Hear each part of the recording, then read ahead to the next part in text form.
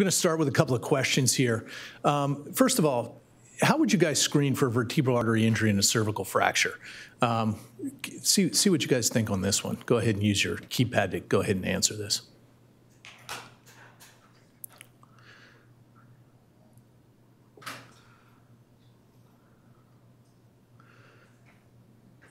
Okay, so everybody's pretty much screening with CTA. I'm going to show some data to suggest that we might want to reconsider angiogram, even though we think it's an older technique. There's actually some new data coming about to suggest that CTA might be overly sensitive. Let's go to the next question.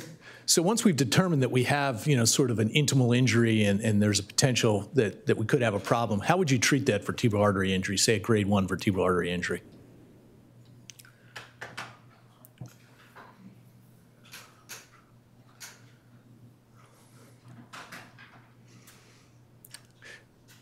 Good. I think most people would say that aspirin is probably equivalent to Plavix or heparin, uh, and that most people would treat these injuries. Though, again, I think there is some doubt in the literature. You know, it's interesting. I gave this talk at the CSRS um, some time ago, and basically, um, it, it, would, it seemed a lot clearer in my mind probably six or seven years ago what to do with a vertebral artery injury than it does now. So I hope I don't confuse you too much as we go through this data here today. But there is some conflicting evidence to suggest that maybe we're overtreating these things, or maybe we're not identifying them correctly. Um, these are my disclosures, none of which are pertinent to this, although endovascular techniques are not technically FDA approved for vertebral artery injury. The other thing I want to disclose is that we have a group of very aggressive uh, interventional neuroradiologists. And I think it's very important to work with your uh, interventionalists. Actually, they're neurosurgeons who are interventionalists. And I think it's very important to work with them because they're much more aggressive at identifying these things. What we're going to be talking about is blunt cerebrovascular injury, and that's defined by the presence of damage to the carotid or vertebral arteries as a result of non-penetrating trauma. It's obvious in a case like this, but it's obviously much more subtle in a lot of the fractures that we see. And some of the things that we think is that the incidence is going up now that we're screening for these. T traditionally, the incidence was less than one tenth of 1%, but now it's as high as 1 to 1.5%, with carotid artery injuries being slightly more common than vertebral artery injuries. The overall mechanism is that we think it's rapid deceleration with hyperextension and rotation. Uh, and most vertebral artery injuries, but not all, are associated with cervical spine fractures. The real problem is it's difficult to determine what the, what the meaning of a vertebral artery injury is. Because the stroke rate in the literature is anywhere from 0 to 33% when you look at these series of vertebral artery injuries with cervical spine fractures. The problem is once you get a, uh, once you get a, um, a, a stroke, that that stroke can be very devastating for these patients. And I think we've all taken care of patients, and I showed that case last night where somebody had a, a vertebral artery injury, wound up with a stroke, and subsequently succumbed from it uh, sometime later. Now, this is an important slide because the screening of blunt trauma patients has really come through a lot of uh, reiterations over the years. There's two criteria, the Den Denver criteria and the Memphis criteria. The Denver criteria are what we'll use, and, and that's any cervical spine fracture, any unexplained neurologic deficit, a basilar cranial fracture into the carotid canal, Lefort type 2 or type 3 fractures, hematoma or bruit, an ischemic stroke, and any hanging injury. Those are patients that probably ought to be screened for carotid or vertebral artery injury. And in the series from Memphis and Denver, it was 3 to 5% of all blunt trauma patients met this criteria. And in those patients that they screened, they found an incidence of blunt cerebrovascular injury of 18 to 30%. So these are the criteria that you really want to look for when somebody comes in and decide whether you want to do a CTA in these patients. Now, looking at cervical fractures and vertebral artery injuries, this is a series of, of cervical spine fractures in 605 patients who were screened with angiography. 92 of those patients had vertebral artery injury, and you can see the most, um, 70 to 80% had a fracture. Now, the three fracture types that were common for vertebral artery injury were subluxations, fractures into the transverse foramen, and C1 to C3 fractures. Now, 213 patients had these fracture patterns, and of those, 33% of those patients had a vertebral artery injury. So when you see these fracture patterns right here, okay, these are particularly the patients you want to screen. Now, with a little bit more modern literature, this is a retrospective series that was published from the group at Harvard uh, a couple of years ago, and they had 253 patients with C-spine fractures who all underwent CTA. They found an overall incidence of vertebral artery injury of 17 percent. In those 42 patients that had a vertebral artery injury, the stroke rate or neurologic event rate was 14%, as you can see here, and the stroke related mortality of 5%. Their high risk patients were patients who had basilar skull fractures, craniocervical dislocations, fracture displacement into the foramen more than a millimeter, Something that we didn't talk about last night, but ankylosing spondylitis also predisposes patients to have vertebral artery injury, and then facet dislocation or subluxation. So those are the patients that you really want to carefully screen when you're looking at these trauma patients. Now, what types of injuries can we see? This is a Denver classification uh, from Biffl, basically looking at the different classifications. And we'll go through these pretty quickly here. We're not neuroradiologists, but I think it's important to understand. They're graded one through five, and you can see the definitions as we see here. Now, luminal irregularity is a grade one injury, and you can see that here in this, in this uh, CT angio this angiogram, as you can see with the arrows right there. When there's dissection with less than 25% narrowing, as you can see in this carotid angiogram right here, that's also a grade one injury. Grade two injury is dissection with raised intimal flap or dissection with an intramural thrombus, as you can see here in these carotid angiograms and CTAs. Grade two with the dissection is a dissection with greater than 25% luminal narrowing as well, as you can see here in this, in this vertebral uh, artery. Now, when you have intramural or intraluminal thrombus, as you can see here, that's also a grade two injury. This is not an occlusion, it's just very slow flow that you can see through this vessel right here. That's also a grade two injury. Now, grade three, this is a carotid angiogram, and you can see that pseudoaneurysm up here, um, and that's a grade three type of injury, as we can see here. Grade four is where you have an occlusion, as you can see here, and these are something to particularly watch out for because they can have a very, very high stroke rate, and oftentimes the strokes will occur really early on in the patient's presentation to the hospital. So it's something you want to sort of want to get on and jump on as soon as you recognize it. And then grade five is where you have extravasation. These can be very lethal. It's something we don't usually see or deal with. That's something that often the trauma surgeons have to deal with because it's such a lethal type of problem. Now, what's the rationale for treatment in these patients? This is a series from Denver where 38 patients had 47 vertebral artery injuries, and they found that their stroke rate was 24%, and the um, associated death rate was 8%. The overall incidence in their whole trauma population was 0.6%.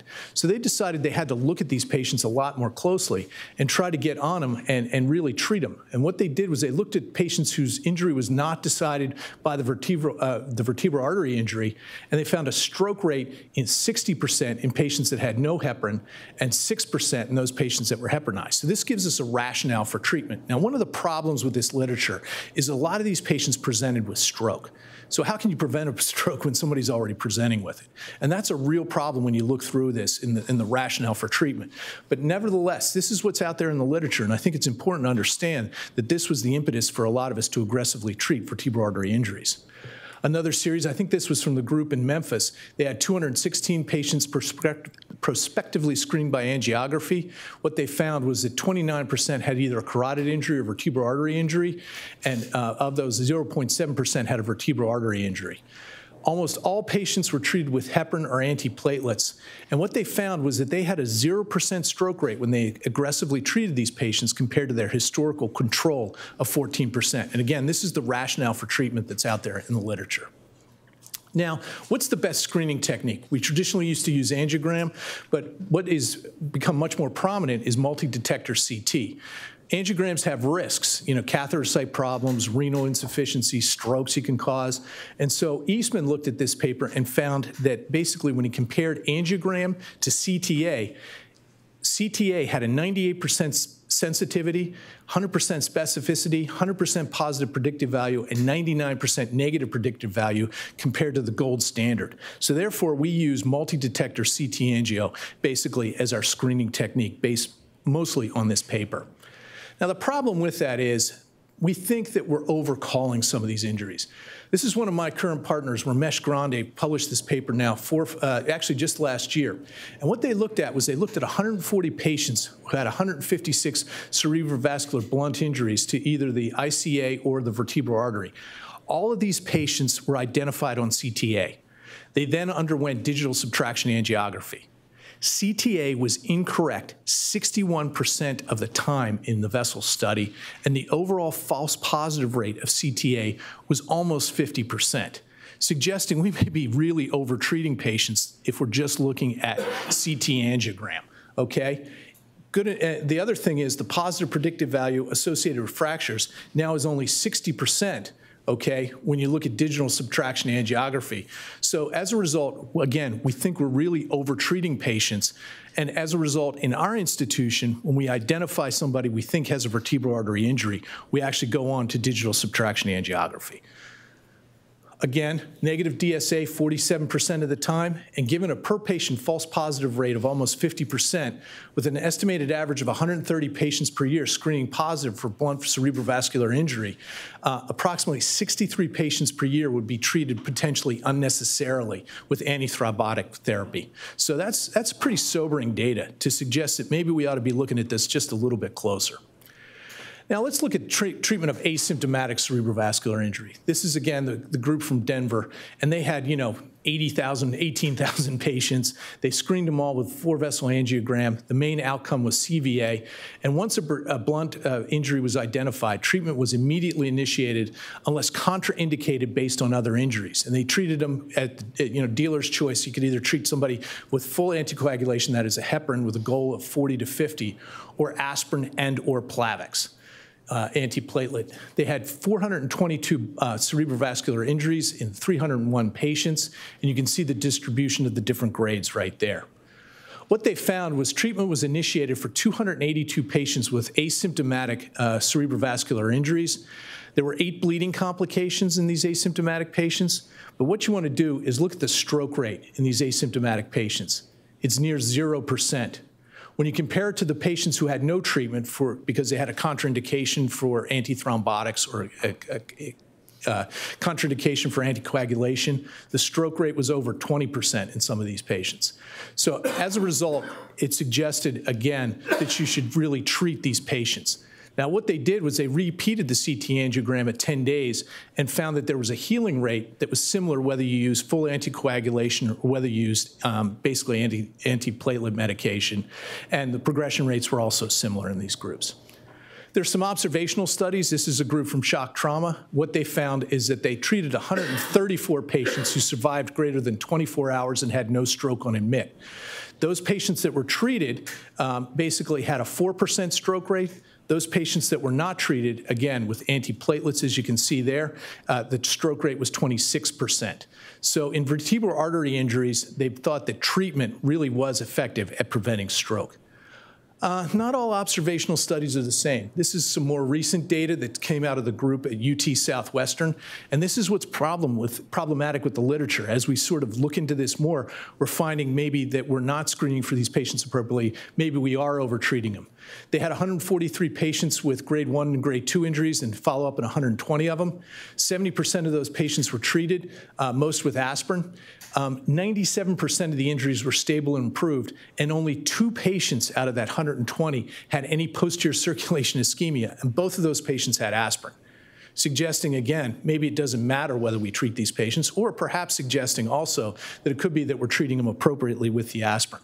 They also looked at grade three and four injuries in a separate paper and found that three patients had grade four injuries, had strokes, but these patients had presented initially with the stroke and two of the three patients had bilateral vertebral artery occlusions when they presented. So again, something that you really couldn't intervene for and, and make a difference in.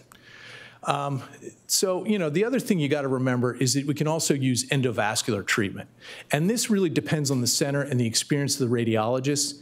Remember, you still need antiplatelet therapy if you stent, and so you got to worry about your contraindications for this. This is much more common for carotid artery injuries than it is for vertebral artery injuries, but we particularly use it in patients who have either pseudoaneurysms or patients that we want to occlude the vert who have grade four lesions uh, that, that we're worried and we have to take to the OR.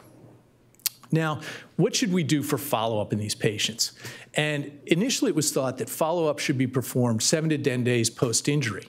But again, now with his newer data suggesting that CTA overcalls these injuries, maybe this has changed the practice at our institution.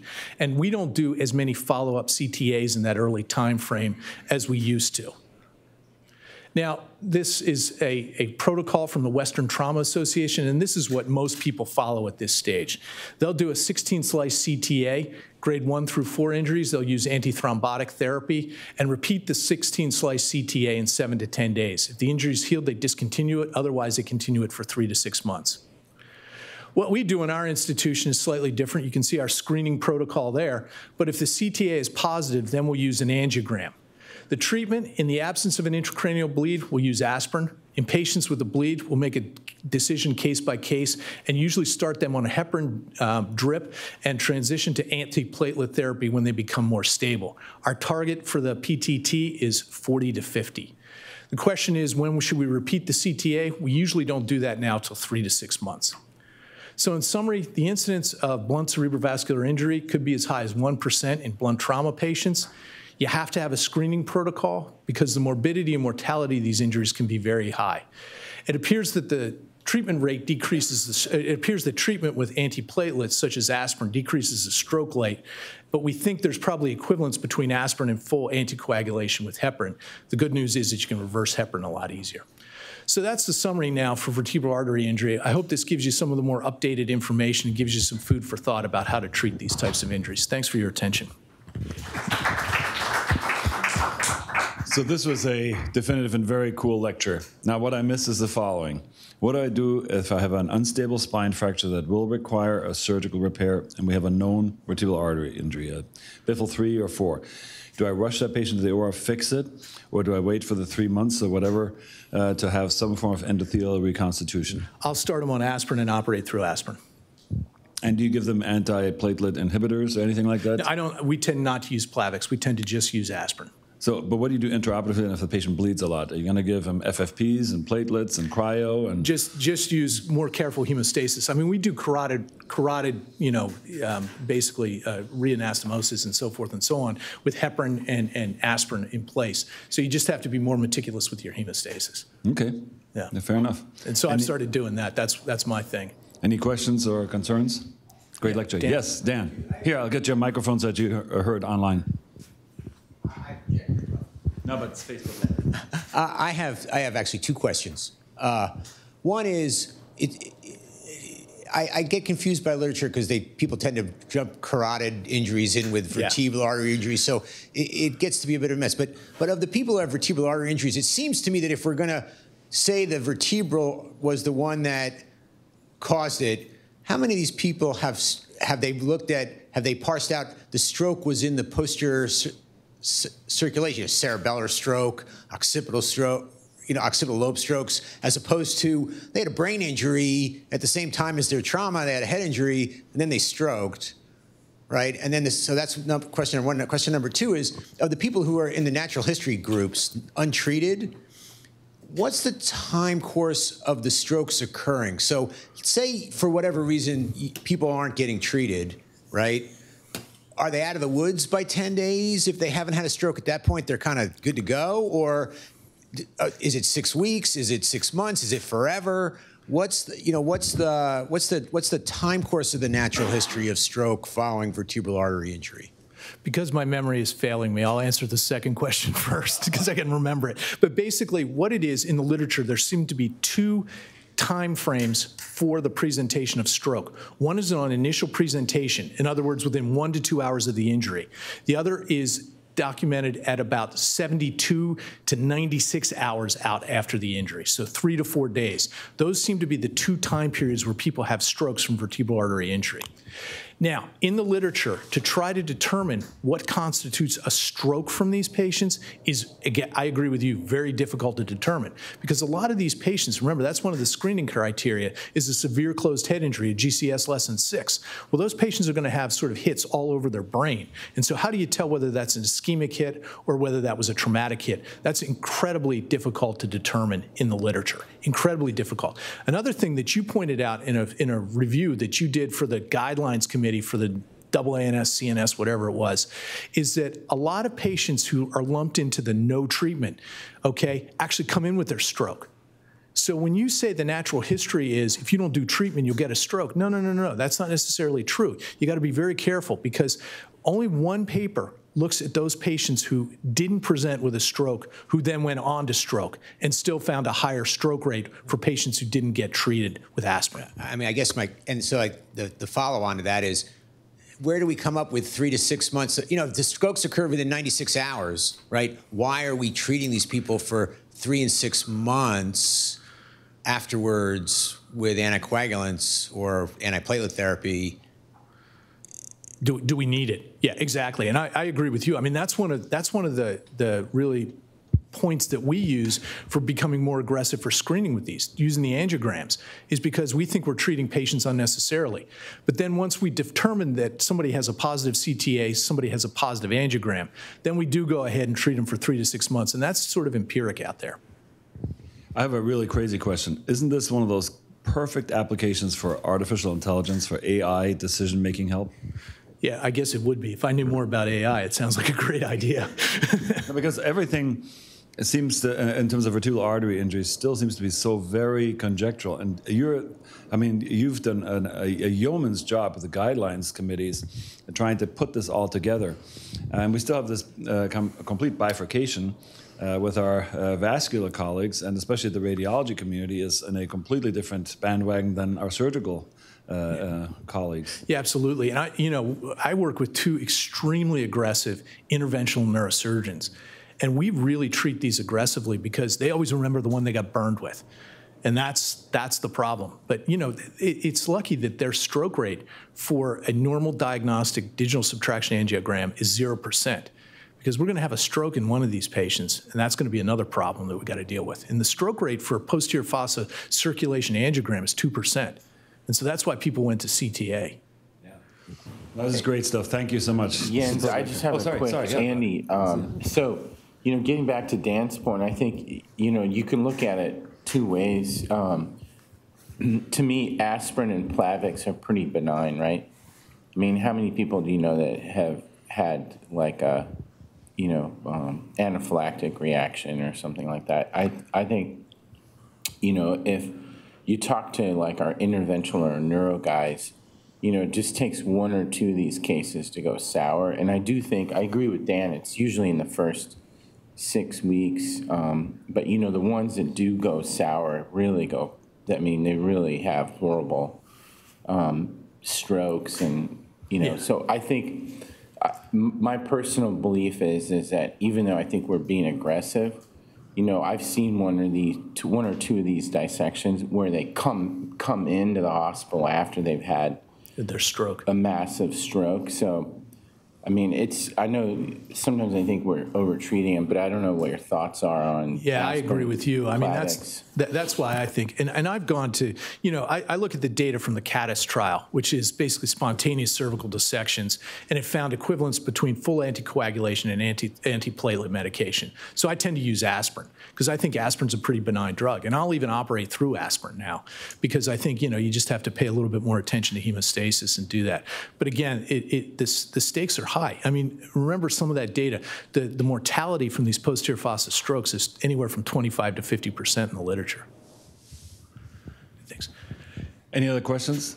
Otherwise, thank you, Andrew. Thank you. Really good.